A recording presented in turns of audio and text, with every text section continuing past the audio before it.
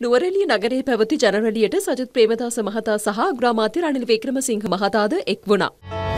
එකරමුණකින් මේ මිහි තලයේ රටම එකට එක් වනාද දිනයේ සිව්සිය දහසින් හදවත් බැඳුනා එක්ව ඉදිරියට යන මඟ හැදුනා එක්ව ඉදිරියට යන මඟ හැදුනා ඊයේ පොහොට්ටුවේ රැස්වීම පැවැත්තුවා. තොණ්ඩවමන් මැතිතුමාගේ කණ්ඩායම වේදිකාවට ආවා. දැන් මල්මාලාවයි සාලුව දැම්මේ අපේක්ෂකයාට නෙමෙයි මහින්ද රාජපක්ෂට. දැක්කද? ගෝඨාභය රාජපක්ෂ පැත්තකට තල්ලු කරා. දැන් සජිත් ප්‍රේමදාස හැමදේම යට ඉස්සරහට යන්න කියලා අපි පස්සට වෙනවා. මගේ බය ඊළඟ රැස්වීමේදී ෂර්ට් එකේ කොලර් එකේ ගල්ලා අයින් කරයිද කියලා. ඉතින් කාටද ඡන්දෙ දෙන්න කියන්නේ? අන්තිමට ඡන්දෙ දෙන්න කියන්නේ මහින්ද රාජපක්ෂරනේ. ඉතින් මම නුවරඑළියේ ජනතාවෙන් අහනවා 2005 මහින්ද රාජපක්ෂ ප්‍රතික්ෂේප කරා. 2010 ප්‍රතික්ෂේප කරා. 2015 ප්‍රතික්ෂේප කරා. තුන් පාරක් එපා කිව්ව බඩුව දැන් ගන්නවද? හතරවෙනි පාරත් ප්‍රතික්ෂේප කරන්න. මේ කඳුකරේ හිටපු සිංහල මුස්ලිම් ද්‍රවිඩ සියලු දෙනාව එදා ඒකීයභාවයට සහයෝගය දුන්නා. දැන් මේගොල්ලෝ හොඳ නෑ. ඒත් අර කේපී හොඳයි. කරුණ හොඳයි. පිළියන් හොඳයි. අපි එක හිටපු මිනිස්සු හොඳ නෑ. එයාගේ ප්‍රතිපත්ති ප්‍රකාශනයේ කඳුරට ගැන වචනයක් නෑ.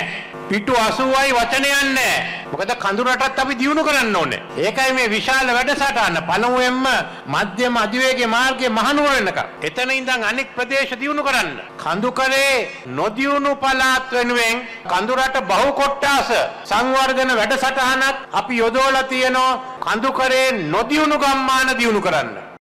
මම නොම්බර එකේ දේශීයත්වය අගයන ජනාධිපති අපේක්ෂකවරයෙක්. මේ රටේ පුරවැසි භාවයේ තිබෙන අපේක්ෂකවරයා හැටියට නුවරඑළිය අර්ථපල් ගොවිය ගැන මට ඇමරිකාවෙන් ටියුෂන් අවශ්‍ය නැහැ. අර්ථපල් පමණක් නොවේ මල්වැනි කෘෂි භෝග, එළවලු, ඇතුළු අනෙකුත් වගාවන්, වගා නිෂ්පාදන දේශීය වශයෙන් පමණක් නොවේ විදේශීය වශයෙන්ුත් අපි වෙළඳ පොළවල් හොයාගෙන මේ ප්‍රදේශයේ ජනතාවට ඒ ශක්තිය ලබා දෙන්නට ඕන. අපේ කෘෂිකර්ම දෙපාර්තමේන්තුව මුල් කරගෙන නුවරඑළිය ඇතුළු බල ප්‍රදේශවල ගොවි මහත්වරුන්ට හොඳ ගුණාත්මක බීජ නිෂ්පාදන වැඩසටහන් අපි ක්‍රියාත්මක කරන්නට ඕන.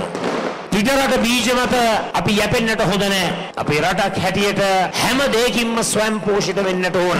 නූරලි වගේ දිස්ත්‍රික්කයක ප්‍රාදේශීය ලේකම් කොට්ටාස පහයි තිබෙන. මම හිතනවා ඒක වැඩි විය යුතුයි කියලා. සමහරෙක් ඔබතුමන්ලාගෙන් ප්‍රශ්න කරයි සජිත් අරක කරනවායි මේක කරනවායි කිව්වට කොහෙන්ද ඌව කරන්න සල්ලි? මම අහන්න කැමති නෙළුම් පොකුණක් හදන්න සල්ලි හොයාගත්තනම් නෙළුම් කුළුණක් හදන්නට සල්ලි හොයාගත්තනම් යාපනයේ රජමාලිගාවක් හදලා අදිසුකෝපභෝගී ජීවිත ගත කරන්නට සල්ලි හොයාගත්තනම් මම එකක් කියන්න කැමති අනිත් හැමදේම නතර කරලා දේශපාලඥයන්ගේ සුරසැප ජීවිත නතර කරලා මේ රටේ ජනතාව වෙනුවෙන් මම මේ ඉදිරිපත් කරපු ප්‍රතිපත්ති ප්‍රකාශනයේ හැම දෙයක්ම ක්‍රියාත්මක කරනවායි කියලා මං තමුන්නාන්සලට කියන්න කැමති 16 වෙනි දැන් පස්සේ අනවශ්‍ය පිටරට ගමන් නැහැ. අනවශ්‍ය වියදම් නැහැ. තරු පහේ තරු හතේ හෝටල් වලින් ඔය සුරසැප විඳින ඒව මොනවත් නැහැ. හැම තම සතයක්ම අපි කැප කරන්නේ අපේ මාතෘ භූමියේ දියුණුවටයි කියන එක මම මතක් කරන්න කැමතියි. මගේ පුරවැසිකම පිළිබඳව නම් කාගෙන්වත් සහතික අවශ්‍ය නැහැ. මම ඔරිජිනල්ම ශ්‍රී ලංකා. මම එංගලන්තෙත් ඉගෙන ගත්තා.